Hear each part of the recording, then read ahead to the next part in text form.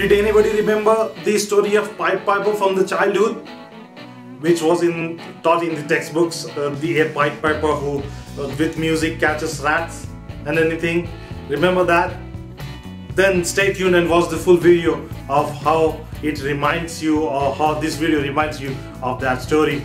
You're watching about and this is Heather serenading the cattle with my trombone. This was the video uploaded by farmer Derek Klingenberg. Uh, the name, the last name Klingenberg is a bit tough to uh, pronounce, but the name is former Derek Klingenberg. This went while what he actually does is that he uses his trombone to attract cattle and a lot of course he owns come to him come attract to him and listen to the music this video is short of uh, short in is of four five minutes and it reminds at least me of the story of the Pied Piper who uses the music the attraction of music to steal all the kids from the village when the villagers tend fail to pay the uh, amount he asked for to remove the rats since the rat menace had increased. It actually is a true story. The Pied Piper is a legend where the people,